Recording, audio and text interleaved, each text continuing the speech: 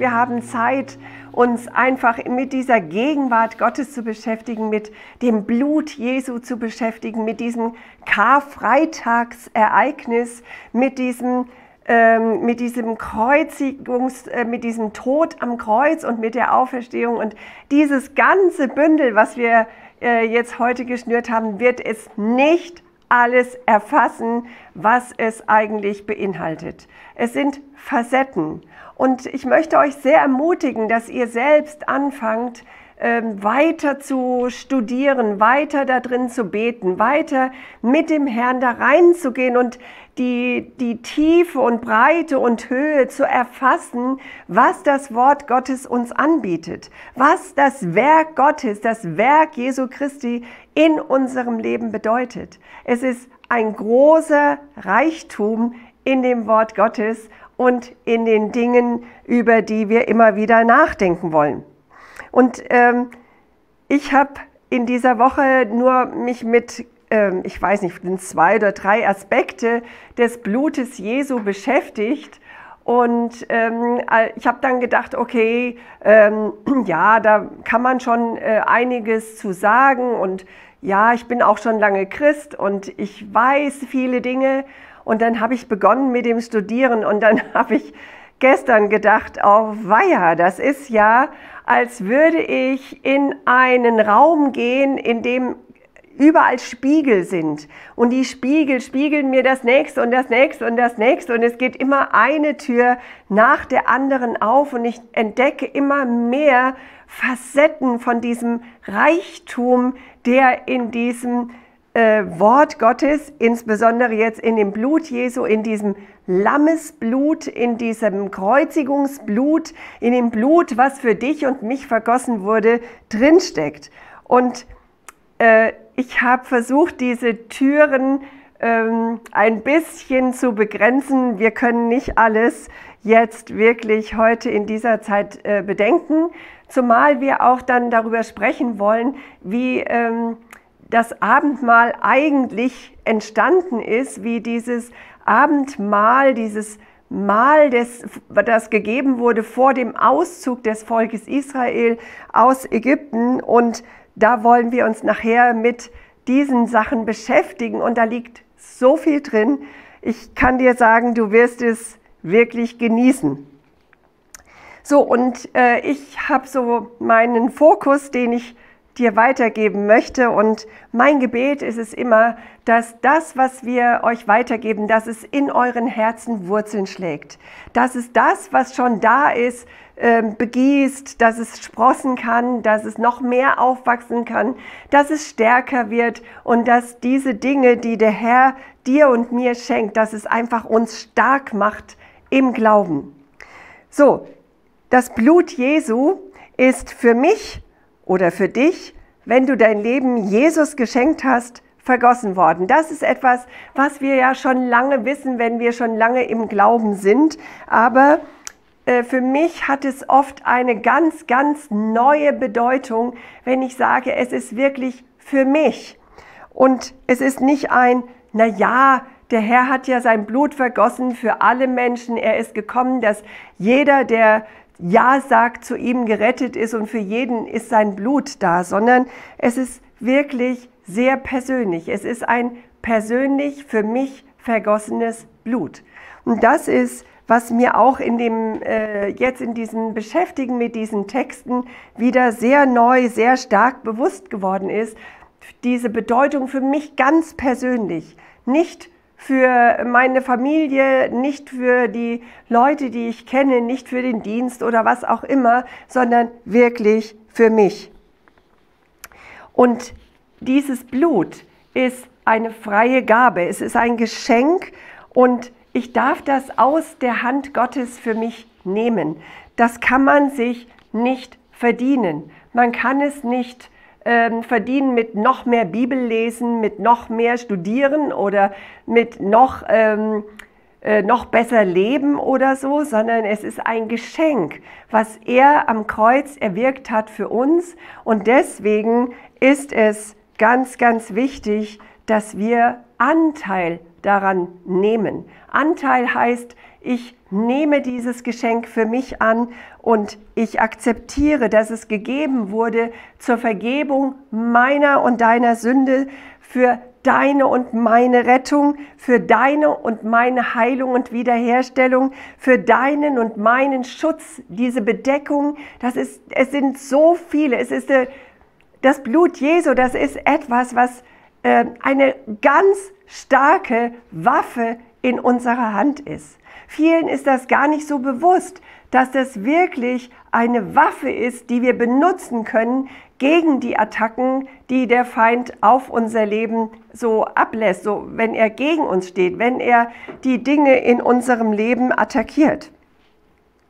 Und mein Fokus heute ist das, äh, dass ich dieses Blut Jesu in den Mittelpunkt stellen möchte, nämlich diesen Kelch, den Kelch des neuen Bundes in seinem Blut, das Opfer, das für mich und dich gegeben wurde. Und ähm, ich möchte einiges dazu beleuchten.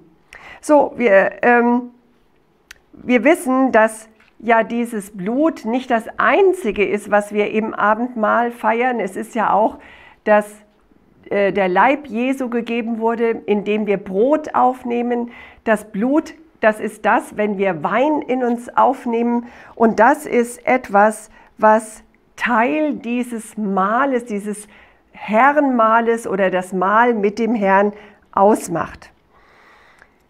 Nun hat so jeder seine Vorstellungen von Abendmahl. Jeder hat so seine Erinnerungen. Jeder hat so seine Prägungen, wie das Abendmahl gefeiert werden muss oder sollte oder könnte. Und wenn ich so zurückdenke, als ich noch äh, jung war, äh, ich habe viele diese Dinge des Glaubens in der Gemeinde kennengelernt. Und ich habe dieses Abendmahl immer als eine sehr ernste, als eine sehr getragene Stimmung wahrgenommen. Etwas, was ähm, fast so ein bisschen mit Trauer verbunden war.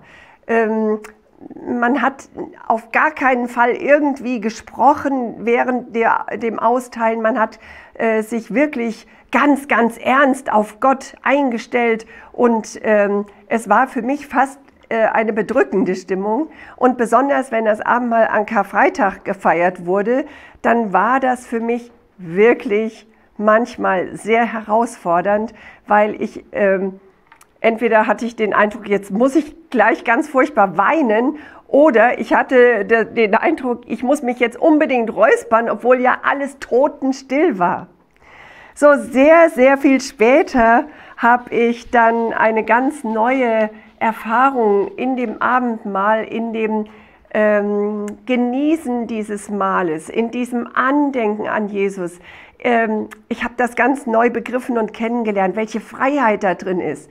Dieser Zwang und dieses starre Korsett, was ich so erlebt hatte, das war wie abgefallen und es, im Gegenteil, es machte sich in mir eine Freudigkeit breit.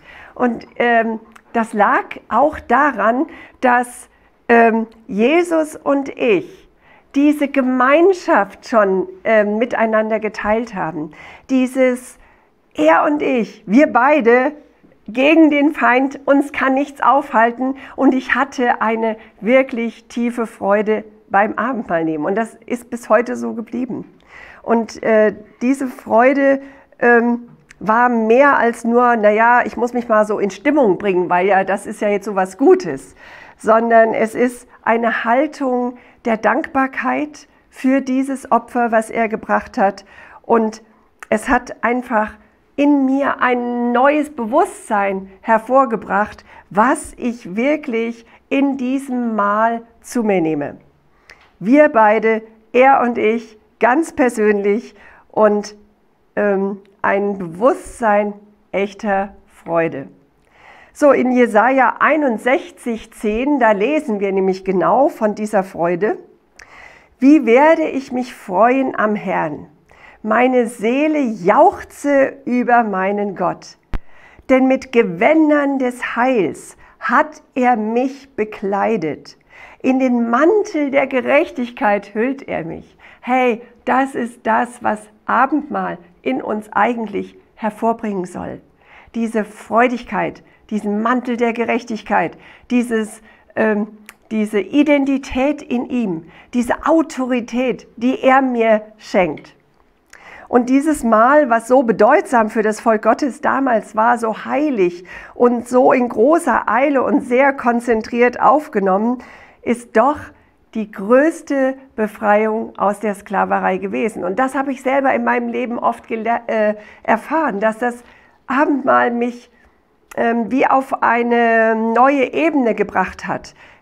Eine neue Ebene, wenn ich bedrückt war, wenn Dinge schlecht liefen, wenn ich mir Sorgen gemacht habe, wenn Angst mich über, äh, überfluten wollte, dann war es das, dass ich wusste, es gibt eine andere Ebene, die Christus in mir und ich in ihm ausmacht.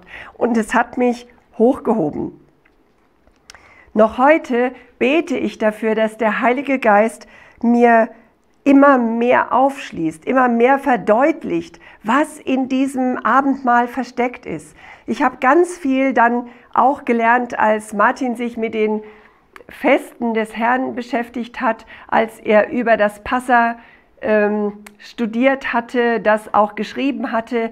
Das hatte für mich nochmal eine ganz neue Bedeutung bekommen. Ich habe sehr viel dazu gelernt und heute weiß ich immer noch, ich muss diesen Schatz, den der Herr mir da gegeben hat, ich muss da noch mehr graben, noch mehr da reingehen. Ich lese zum Beispiel ganz oft diese Abendmahlseinsetzungsworte, so nennt man sie ja. Äh, und trotzdem ist für mich immer noch da drin etwas, wo ich sage, Herr, was bedeutet das? Was meinst du für mich, für dich und mich in unserer Beziehung jetzt? Jetzt hier und bis in alle Ewigkeit. Und ich bete oft, dass er mir alles wegnimmt, was ich so an eigenen Festlegungen habe, so an eigenen Gedanken habe, so wo ich denke, ja, das ist aber so und das muss so, sondern dass er mich seine Fülle erkennen lässt. Und er ist ein Gott der Fülle. Er hat mehr für dich. Es ist nicht so, dass er dich begrenzen will oder dass du ihn begrenzen kannst. Jedes Wort Gottes trägt den Atem des Heiligen Geistes in sich. Und das, dieser Atem, der belebt uns und der erfrischt uns. Das ist das, äh, unsere, ähm, wie heißt es, ähm, Freude kommt vom Angesicht Gottes. Ähm, diese, dieses äh, Ganze, was mit diesem freudigen Dasein, mit dem Geschenk, was der Herr uns gemacht hat, mit dieser Vergebung, die er erwirkt hat, die wir uns nicht selber machen können, das ist etwas, was uns erlebt, äh, belebt und erfrischt, was uns ermutigt, was uns frei macht und wirklich uns Neues schenkt. Im Psalm 25, äh, Vers 14 lesen wir, dass der Herr die ins Vertrauen zieht, die ihn fürchten und sein Bund dient dazu, sie zu unterweisen. Schau, der Herr möchte dich unterweisen. Sag nicht, ja, ich verstehe das alles nicht und das ist so kompliziert und ich weiß nicht und so. Bete darüber und sage, Herr, schenke mir durch den Heiligen Geist Weisheit und Erkenntnis, dass du mich unterweist, wie das Wort Gottes für mein Leben gedacht ist. Und dann kannst du in jedem Bereich ganz, ganz viel Neues erfassen. Äh, manchmal denke ich, wir sind so ein bisschen so gestrickt, äh, der Alltag, der hält uns so in Trab und wir ähm, haben nicht immer so den, äh, wie soll ich sagen, den Zugang, uns länger mit dem Wort Gottes zu beschäftigen. Aber ich möchte dich wirklich ermutigen, da dran zu bleiben, wirklich ermutigen zu studieren, einzelne Worte dir vorzunehmen und zu studieren zu graben und vor allen Dingen zu beten, dass der Herr dir eine ganz, ganz neue, eine ganz frische Offenbarung über die Kostbarkeit seines hingegebenen Leibes, seines Opfers, seines Blutes für dich in deinem Leben schenkt. Und ähm, dann gibt es noch etwas, was ich auch sehr viel später äh, gelernt habe. Ich war so geprägt, man hat das Abendmahl nur in der Gemeinde einmal im Monat zu sich genommen und das wurde von dem Pastor ausgeteilt und ähm, ja, das war's dann. Und später habe ich begriffen und verstanden in der Offenbarung äh, über, diese, ähm, über dieses Abendmahl, dass Jesus selber sagt, so oft ihr es tut, so oft ihr das tut. Da steht nicht so oft ihr Pastoren es austeilt, sondern so oft ihr es tut. Er spricht nämlich da zu den Gläubigen, zu den Kindern Gottes, zu denen, die Ja gesagt haben zu ihm und deren Leben ihm gehört. Und das hat mir geholfen zu verstehen, dass ich das Abendmahl immer nehmen kann. Jeden Tag. Ich könnte es mehrfach nehmen, wenn mir danach ist. Und ich nehme das Abendmahl ganz ähm, oft, sehr oft und äh, auch dann, wenn ich mich schlecht fühle, wenn es mir nicht gut geht, wenn ich dieses Blut in Anspruch nehme, dass es äh, mich reinigt und heiligt und wiederherstellt und dass es ähm, diese Heilung in dem Blut wirklich in meinen Organismus freisetzt. So, und ich habe auch jetzt mehr und mehr verstanden, gerade in der Zeit, in die wir eingetreten sind, ähm, da habe ich immer mehr den Eindruck auch gewonnen, dass es in den Reglementierungen, die wir ja alle erleben, auch in den Gemeinden, diese Enttäuschungen, die Frustrationen, äh, dass es da insbesondere eine Attacke wirklich des Feindes auf das Abendmahl gegeben hat oder immer noch gibt. Das Abendmahl ist ein, ein Kernpunkt und ich glaube, dass der Feind es hasst, wenn die Kinder Gottes Abendmahl aufnehmen weil es eine ganz, ganz starke Waffe in unserer Hand ist. Das Blut Jesu, diese Waffe gegen den Feind. Und wenn äh, du musst wissen oder du weißt ja sicher, das Blut wurde an die Türpfosten gestrichen, als das Volk Israel aus der Sklaverei ausziehen sollte. Das Blut Jesu ist an deine Herzenstüren gestrichen, wenn du es anstreichst, wenn du sagst, ich bin bedeckt durch das Blut des Lammes und dann geht der Würgeengel vorbei und dann ist der Teufel nicht mehr der, der dich ständig und ständig vorführen kann, attackieren kann, überwinden kann, sondern das Blut Jesu steht zwischen dir und dem Feind. Und wenn er das Blut sieht, kann er nicht weiter ähm, dich attackieren und dich, ähm, wie soll ich sagen, dich überwältigen. Und das ist ein, eine große ähm, wie soll ich sagen, das ist ein großes Geschenk. Denk selber darüber nach. Denk, denk nicht gesetzlich. Denk nicht, ja, aber das darf doch nur der Pastor, das darf doch nur der Pfarrer. Nein, es steht, so oft ihr es tut, denkt an mich. So oft ihr es tut, verkündigt ihr den Tod Jesu. Im Abendmahl geht es natürlich nicht nur um das Blut, ich habe es eben schon mal gesagt, es geht natürlich auch um das Brot und um all diese Dinge. Wir hören nachher noch mehr davon, aber äh, das ist eben im Moment sehr wichtig für mich geworden und ich habe ähm, mir dann vorgenommen oder ich habe das ausprobiert, dass ich diese Einsetzungsworte, die äh, uns gegeben sind in den Texten in 1. Korinther 11, ähm, dass ich die noch persönlicher mir zuspreche. Also ich habe das ja schon öfter gemacht, auch dem Psalm 91, andere Bibelverse habe ich ja schon oft gesagt, äh, schreib die um für dich, nicht um die Bibel umzuschreiben, sondern um dieses Wort so persönlich wie möglich für dich und mich zu machen. Ähm, gerade heute an Karfreitag ist es wichtig, dass dieses Mahl des Herrn etwas ist, was ganz tief in deinem Herzen verankert ist, was ganz tief dich berührt. Es geht nicht darum, dass ich dir hier eine nette Botschaft rede, sondern es muss dein Herz finden. Es muss dein Herz überwältigen. Es muss das Blut Jesu sein, was dieses Kostbare in deinem Leben ist. Und dann habe ich äh, diesen Text gelesen in 1. Korinther 11, 23 und da steht ja, ich habe nämlich vom Herrn empfangen, was ich auch an euch weitergegeben habe. Der Herr Jesus nahm in der Nacht, da er ausgeliefert wurde, Brot, dankte, brach es und sprach, dies ist mein Leib für euch, das tut zu meinem Gedächtnis. Und ich habe das dann mit dem äh, Matzenbrot genommen und habe gesagt, als persönliche Proklamation, ich danke dir, Herr Jesus, dass du, als du in der Nacht damals verraten wurdest, dieses Brot genommen hast, um es für mich zu geben, um es für mich zu brechen. Und ich danke dir für dieses kostbare Geschenk. Ich danke dir für dieses Brot. Ich nehme das Brot als deinen hingegebenen Leib für mich. Ich nehme es in mich auf. Ich esse es. Ich nehme es zu mir. Und ich danke dir dafür.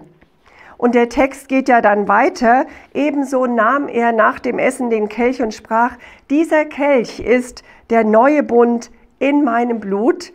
Das tut, so oft ihr daraus trinkt, zu meinem Gedächtnis. Denn so oft ihr dieses Brot esst und den Kelch trinkt, verkündigt ihr den Tod des Herrn, bis dass er kommt. Und ich habe auch diesen, diese Textpassage mir persönlich zugesprochen. Ich danke dir, Jesus, dass ich aus dem Kelch des neuen Bundes in deinem Blut, den du für mich gegeben hast, trinken darf. Ich erinnere mich immer wieder daran, was du für mich getan hast. Und ich verkündige das anderen Menschen. Ich bete, dass du mich zu einem Überwinder machst, dass du mich formst. Und Herr, ich werde deinen Leib und deinen äh, Opfertod verkünden, dass viele Menschen zum Glauben an dich finden. Wenn wir, und das ist jetzt so mein, auch ein, einer meiner persönlichen Punkte, aber vielleicht findest du das auch, ähm, kannst du da jetzt mitgehen, wenn wir aus dem Kelch diesen Wein zu uns nehmen oder den Saft oder wie auch immer. Also ihr müsst jetzt auch nicht unbedingt Wein zu Hause trinken, wenn ihr das sonst nicht macht. Ihr könnt auch Saft nehmen. Also wenn wir diesen Kelch aufnehmen, dann ähm, habe ich gedacht, das allererste, was dieser Kelch an uns tut. Das ist, dass er unsere Lippen und unseren Mund berührt, dass diese Flüssigkeit als erstes über unsere Lippen kommt und als erstes nehmen wir den Wein in uns auf, in unseren Mund. Versteht ihr, ähm, manche Bibeltexte, die sind uns so geläufig, dass wir nicht mehr die, ähm, wie soll ich sagen, diese Bedeutung oder dieses, ähm, was so da drin steckt, dass wir das richtig verstehen, sondern wir, wir nehmen es mit dem Verstand. Und ich habe darüber nachgedacht, dass wir diesen Kelch an unseren Mund nehmen, an unsere Lippen nehmen. Über unsere Zunge kommt dieser Wein in uns, in unseren ganzen Organismus hinein. Denn mit unserem Mund und mit den Lippen schmecken wir und der ganze Mund ist ja dann erfüllt von diesem Wein. Und das war für mich ein ganz, ganz interessanter Punkt, denn ähm, wenn du in der Bibel liest, ist der Mund, die Zunge und unsere Lippen äh, nicht unbedeutsam. Es sind ganz, ganz viele Bibelstellen, die auf die Lippen, auf den Mund und auf die Zunge hinweisen. Denn mit unserem Mund bekennen wir, mit unserem Mund reden wir das Zeugnis über den Opfertod und die Segnungen, die wir dadurch empfangen haben, dass es heißt äh, in diesem ersten Korinther-Text, indem ihr das nehmt, verkündigt ihr den Opfertod des Herrn, bis dass er kommt. Mit unserem Herzen glauben wir, aber mit unserem Mund bekennen wir. Unser Mund, unsere Lippen und unsere Zunge, das ist das allererste, was mit diesem Wein in Berührung kommt. Und mit unserem Mund preisen wir den Herrn. Wir preisen den Vater im Himmel, dass er Jesus von den Toten, aus den Toten auferweckt hat. Und wir preisen ihn für die Verheißungen, die er gegeben hat, nämlich, dass er einen Tröster senden wird. Die Verheißung des Vaters. Das ist das, was wir dann zu Pfingsten erleben, diese Gabe des Heiligen Geistes. In äh, der Bibel habe ich jetzt gesehen, gibt es sehr, sehr viele Stellen über die Lippen. Ich sage euch jetzt ein paar, dass äh, wir alle da ein bisschen mehr äh, uns auch rein vertiefen können, ein Verständnis entwickeln können, wie bedeutsam das eigentlich ist. Da heißt es in Hebräer 13, durch ihn wollen wir Gott alle Zeit als Opfer ein Lob darbringen, das heißt die Frucht der Lippen, die seinen Namen bekennen. In Psalm 66, Vers 13 lesen wir, ich komme in dein Haus mit Brandopfern, ich erfülle dir meine Gelübde, zu denen sich meine Lippen geöffnet haben, die mein Mund gesprochen hat in meiner Not. Verstehst du? Deine Lippen haben die Fähigkeit, ein Bekenntnis abzulegen, ein Zeugnis abzulegen, etwas darüber zu berichten, was Jesus in deinem Leben getan hat, zu berichten, warum Jesus gestorben ist, begraben wurde, auferstanden ist und warum er in deinem Leben diese Wichtigkeit hat. Psalm 119, Vers 13. Mit meinen Lippen zähle ich auf alle Gesetze deines Mundes. Ich freue mich, meinen Weg nach deinen Vorschriften zu gehen. Und in den Sprüchen, Sprüche 10, in den Sprüchen sind ganz viele, auch in dem Psalm, ganz viele Verse, wo es um unsere Lippen und unseren Mund geht. Gerade auch in Hiob kannst du lesen. Hiob ist ja das Buch des großen Dialoges und da geht es tatsächlich ganz viel um Lippen und Mund. Mit meinen Lippen zähle ich auf, ach so, das hatten wir mit den Vorschriften. In den Sprüchen, Sprüche 10, die Lippen eines Gerechten leiten viele, also im Sinne von weiden, leiten viele, aber die Toren sterben an ihrer Unvernunft. Da kannst du mal rundrum gucken, was gerade so in der Welt abgeht. Da kannst du den Vers sicher nachvollziehen. Denn ähm, ich habe gesehen, hier auch bei Hiob, wo er mit seinen Freunden spricht, da sagt einer von den Freunden zu Hiob, er wird deinen Mund noch mit Lachen füllen und deine Lippen mit Jubel. Verstehst du? Hiob war in einer sehr schwierigen Situation. Und trotzdem kriegt er diesen Zuspruch und diese Verheißung. Also pass mal auf, der Herr wird schon aus deinem Elend, was dich jetzt getroffen hat, er wird ein Zeugnis aufrichten. Du wirst noch deinen Mund mit Jubel gefüllt bekommen. Wart mal ab, du wirst noch erkennen, dass der Herr dein Leben vollkommen verändern wird und du wirst ein Zeugnis haben. In Matthäus 15, 7 bis 11, da lesen wir, dass die Pharisäer und Schriftgelehrten zu Jesus kommen, um mit ihm über Reinheit und Unreinheit zu diskutieren. Und ähm, eigentlich wollten sie mit ihm darüber streiten. Und Jesus antwortet ihnen mit einem Text, den er aus Jesaja 29, Vers 13 eigentlich zitiert und er sagt, ihr Heuchler, wie zutreffend ist es doch, was Jesaja über euch geweissagt hat. Dieses Volk ehrt mich mit den Lippen, aber ihr Herz hält sich fern von mir. Nichtig ist, wie sie mich verehren, was sie an Lehren vortragen, sind Satzungen der Menschen. Und er rief das Volk herbei und sagte zu ihnen, hört und versteht.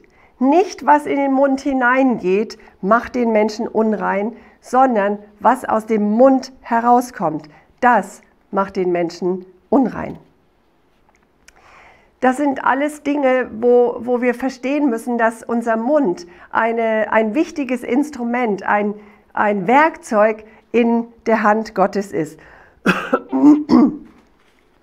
In Maleachi 2 da lesen wir von dem Stamm Levi, aus dem die Priester gewählt wurden. Und hier bei Maleachi gebraucht Gott diesen Stamm Levi als ein Beispiel, wie er sich eigentlich die Mitarbeiter, die Leiter in seinem Reich vorstellt, wie er sie haben möchte, wie sie sein sollten und was sie leben sollten als Vorbild für andere.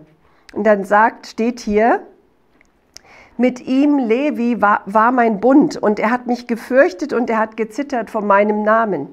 Verwes verlässliche Weisung, verlässliche Weisung war in seinem Mund und auf seinen Lippen fand sich kein Unrecht. In Frieden und Aufrichtigkeit ist er mit mir gegangen und viele brachte er zur Abkehr von Schuld. Die Lippen des Priesters müssen Erkenntnis bewahren und aus seinem Mund sucht man Weisung, denn er ist der Bote des Herrn der Herrscharen. Verstehst du, hörst du das heraus? Die Lippen müssen gereinigt sein. Das Herz und die Lippen, das gehört in der Bibel oft zusammen. Da ist eine Einheit, die da gemeint wird.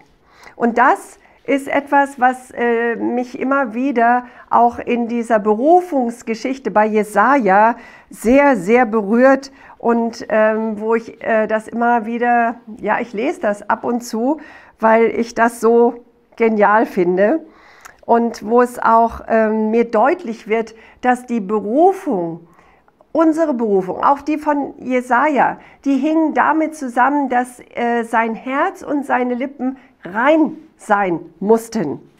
Und die Berufung von Jesaja in sein äh, Prophetenamt, das war etwas, wo seine Lippen von Gott berührt wurden. Das ist das, wo ich den großen Bogen sehe, dass äh, das Blut, wenn wir das, den Kelch ähm, aus dem Kelch trinken, dass da dieses ähm, gleiche Ding ist, diese Berufung, dieses, dass der Herr uns zu sich gezogen hat, wo der Herr uns in ein, einen Auftrag stellt, wo er uns einen Auftrag gibt, wo er möchte, dass wir eingesetzt sind, aber wir sollen das mit reinen Lippen tun und mit reinem Herzen.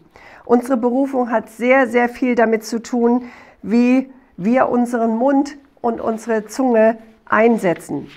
Ihr kennt die Berufungsgeschichte von Jesaja bestimmt, denn ähm, Jesaja erzählt uns da am Anfang von diesem Blick, den er in diesen Thronraum ähm, tut und er sieht Gott auf dem Thron sitzen hoch erhoben und der Saum des Gewandes erfüllt den ganzen Tempel.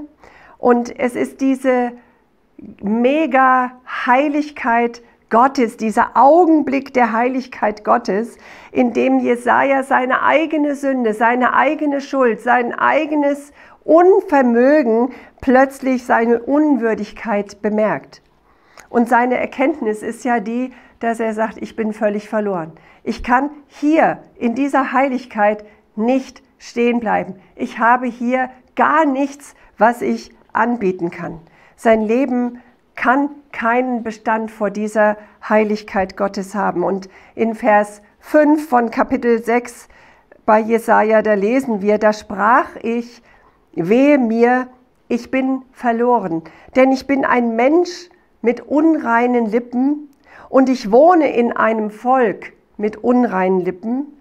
Und meine Augen haben den Herrn der Heerscharen gesehen.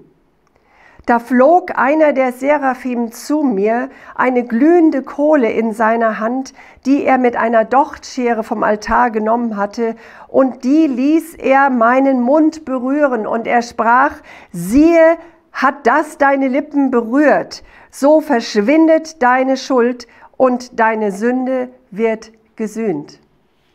Gott reinigte Jesajas Mund. Ich glaube persönlich, dass dieses Blut, was wir, also diesen Wein in dem Kelch, dass es uns reinigt, dass es da einen Prozess in uns gibt, einen Prozess, der in Gang gesetzt wird. Wir machen das nicht als ein Programmpunkt, sondern es hat einen tiefen, tiefen Sinn. Nämlich, das ist wie bei Jesaja hier. Sein Mund und sein Herz wurde in einem Augenblick gereinigt durch diese glühende Kohle, die der Engel von dem Altar genommen hat und ihn berührt hat.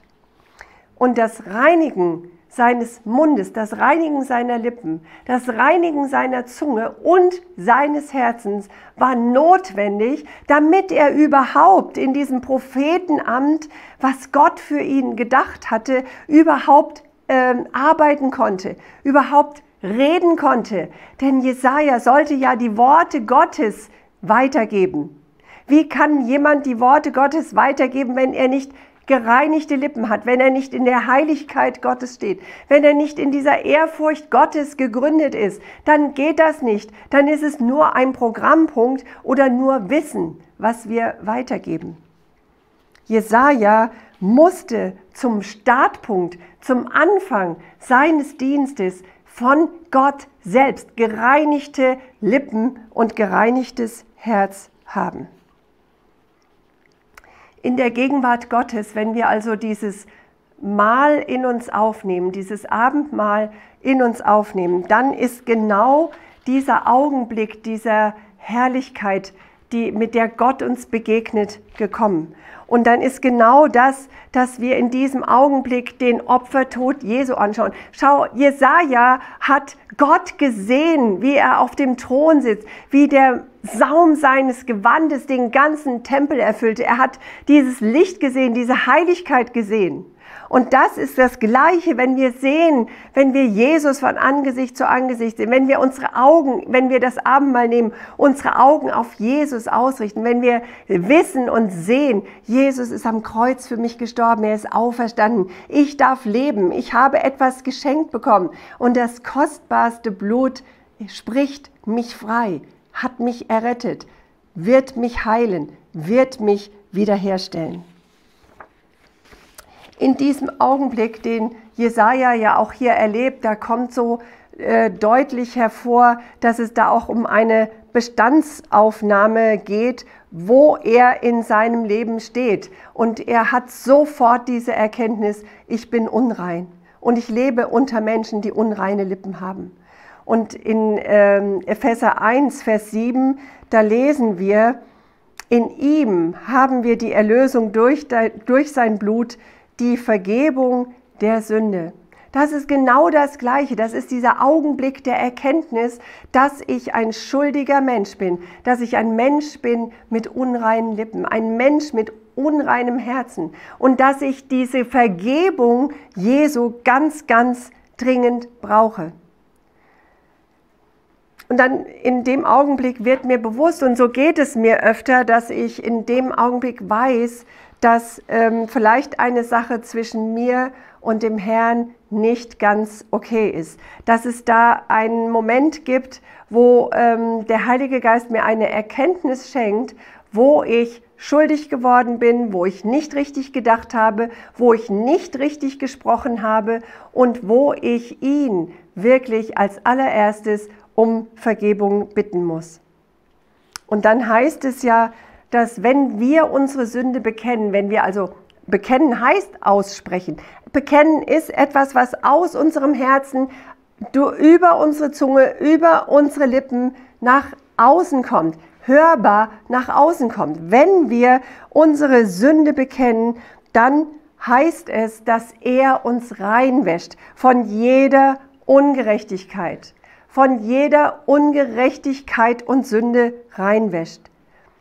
Ungerechtigkeit und Sünde bedeuten Unrecht, Vergehen gegen Gott, Abweichung von Gottes Maßstäben, Rebellion, sündhaftes Verhalten, gottlose Neigungen und vieles mehr. Keiner von uns kann sagen, dass er ohne Sünde ist. Aber jeder, der es möchte und jeder, der Jesus kennt, kann sagen, ich weiß, dass mein Erlöser lebt und ich werde ihn bitten, dass er mir vergibt. In 1. Johannes 1, Vers 8 bis 9, da lesen wir davon. Wir, wenn wir sagen, wir haben keine Sünde, führen wir uns selbst in die Irre und die Wahrheit ist nicht in uns. Wenn wir aber unsere Schuld bekennen, so ist er treu und gerecht, dass er uns die Sünde vergibt und uns reinigt von aller Ungerechtigkeit. Das ist das, was wir auch mit Buße, mit äh, Bekennen, mit Überführtsein von Dingen, die zwischen uns und Gott stehen, was, ist das, was das meint. Wenn dieser Prozess dann abgeschlossen ist und wir das vergebene Blut Jesu in Anspruch genommen haben, so sind wir frei gesprochen. Ich habe das mal sehr deutlich erlebt, dieses Gefühl auch, dass ich frei war von einer Last, dass ich ähm, diese Vergebung zugesprochen bekommen habe, nachdem ich Buße getan habe über die Dinge, die zwischen mir und Gott standen. Das Blut, eben im Bild des Weines im Kelch, das ist also das, was gewissermaßen dieser aktive Reinigungsprozess in uns ist und damit beginnt dieses Offenbarwerden unseres inneren Menschen. Da wirst du am ehesten merken, wo noch Schwachstellen sind, wo noch so dunkle Flecken sind und die äh, unbedingt rein, gereinigt werden müssen. So, und hier ist immer auch für mich, ja, ich glaube, da ist für mich auch der Punkt gekommen, wo es um meine erneute Hingabe zu Jesus geht. Es ist zuerst dieser Reinigungsprozess mit der Vergebung, mit dem Annehmen, dass mir Vergebung gehört und zugesprochen ist. Und dann kommt diese neue Hingabe, dieses, Herr Jesus, mein Leben gehört dir, ganz und gar. Ich gebe dir mein Leben. Ich halte nichts zurück, sondern alles gehört dir. Und das ist etwas, wo ich auch ganz, ganz oft bete, dass der Herr mir ein Herz schenkt, was sich ihm voll und ganz hingibt, was nichts zurückhält und was ganz und gar von ihm gebraucht werden kann. Wenn wir dieses Blut aus dem Kelch aufnehmen, dann ist es ja auch so, dass das in unseren ganzen Organismus hineinkommt, hineinfließt. Und es ist das, wo ähm, für mich auch dieser Anteil ist für Heilung und Wiederherstellung. Wenn ich bete dann, dass der Herr dieses Blut in meine Organe fließen lässt, im übertragenen Sinn, dass der Herr schenkt, dass diese Organe, die nicht wirklich gesund sind, dass er sie heilt, dass da ein Prozess der Heilung und Wiederherstellung stattfindet. Und ich möchte jetzt gerade für die beten, die mit Schmerzen zu tun haben, die mit Krankheit konfrontiert sind, die wirklich ähm, äh, fast hoffnungslos sind, die ähm, schlechte Diagnose bekommen haben und die vielleicht auch geängstigt wurden, die unter Panik sind, die unter Hoffnungslosigkeit sind. Verstehst du, dieses Blut ist etwas, was in dich hineinfließt und was diesen Prozess der Heilung in deinem inneren Menschen in Gang bringt. Auch in deinen Organen, auch in deiner Psyche, auch in deinem Geist, in deiner Seele, in allem dem, was dich als Mensch ausmacht. Und ich bete, Jesus, dass du jetzt durch dein Blut reinigst, heiligst und wiederherstellst. Ich bete, dass eine Flut, wirklich eine Flut deines Blutes für Heilung in jeden Körper, der das hier braucht, von den Menschen, die hier diesen Livestream hören, dass in dieses Leben ein Blutfluss hineinkommt aus deinem Kreuzestod, aus deiner Auferstehung, dass neues Leben hervorkommt. Ich habe, ich habe auf dem Herzen, dir zuzusprechen, dass du nicht sterben wirst, sondern leben wirst und die Werke des Herrn verkündigen wirst. Ich bete, dass du eine neue Offenbarung über das Blut Jesu empfängst jetzt. Ich bete, dass das Blut Jesu dich frei macht von aller Sünde und Ungerechtigkeit. Und ich bete, dass wirklich diese ähm, Offenbarung in dir wächst, dass du durch seine Wunden geheilt bist und dass du jetzt diese Heilung in Anspruch nehmen kannst. Amen.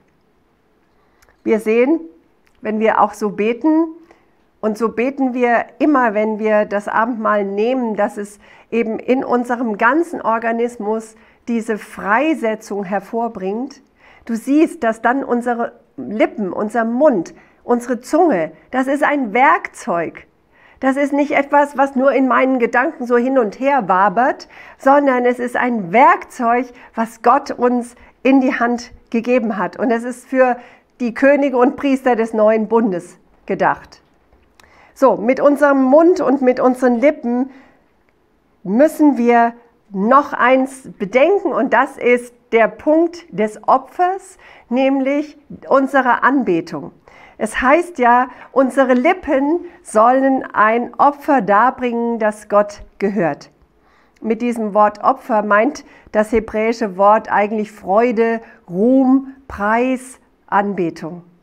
Sich an Gott freuen, ihn rühmen, ihn preisen, ihn Lob bringen und alle diese guten, wunderbaren Dinge. Jemand hat mal gesagt, Lobpreis ist Gottes Adresse. Das fand ich echt stark. Lobpreis ist Gottes Adresse. Also wenn du Lobpreis machst, du richtest das an die Adresse und Gott, bei Gott kommt das an. Es ist doch interessant, dass in diesem priesterlichen Dienst es mit diesem Opfer zu tun hat. Und wenn ich davon spreche, dass wir Könige und Priester sind, dann gehört zu unserem priesterlichen Dienst auch dieses Opfer darbringen. Und wir bringen unser Opfer mit unserem Lippen.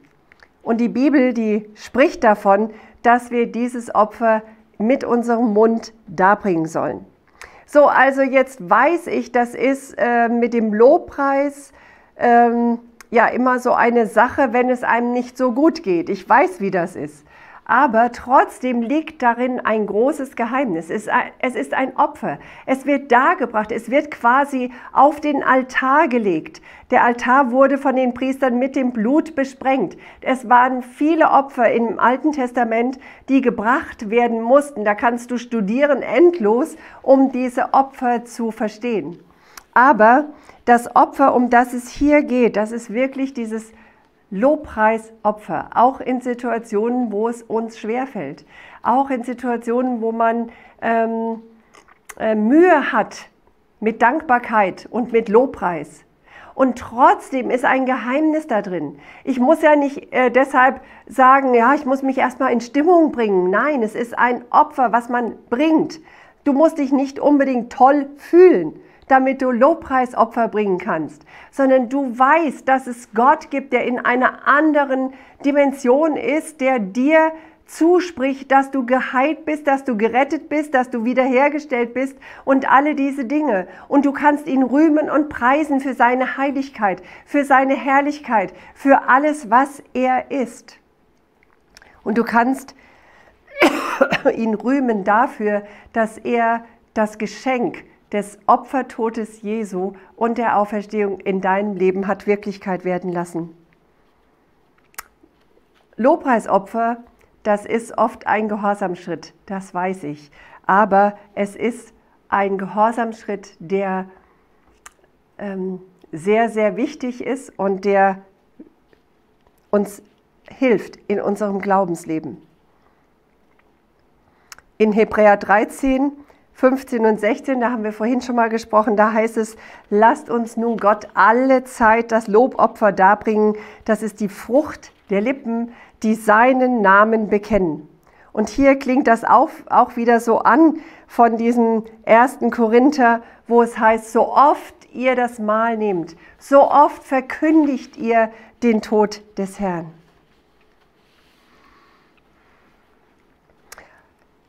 Eine ernste Mahnung gibt es auch noch für unseren Mund. Das will ich nicht weiter jetzt groß beleuchten, aber ähm, da heißt es im Psalm 141, Vers 3, Setze Herr meinem Mund eine Wache und hüte die Tür meiner Lippen. Das heißt, es ist ganz wichtig zu beachten, was du sagst, auch wenn es dir jetzt schlecht geht, auch wenn es dir ähm, Mühe macht in manchen Dingen in deinem Leben sprich nicht dauernd das Schlechte darüber aus. Ich weiß, dass man da ganz schnell reinkommt. Es ist einfach so, dass auch der Feind diese Situationen ja benutzt, damit er uns unter Druck bringt. Und wir reden dann echt Negatives. Und wir sprechen dieses Negative in unser Leben und in das Leben von anderen hinein. Und deswegen steht hier in dem Psalm 141 Sätze, Herr, meinem Mund eine Wache, hüte die Tür meiner Lippen. Das ist etwas, was wir uns wirklich merken müssen. Und dann dieser ganz schöne, mega geniale Vers zum Schluss. Da heißt es, wir haben ihn überwunden. Wir haben ihn, den Teufel, überwunden. Also, wenn du jetzt in Situationen bist, die wirklich schlecht aussehen, du kannst immer sagen, ich bin ein Überwinder. Ich werde ihn, den Teufel, überwinden. Und wodurch?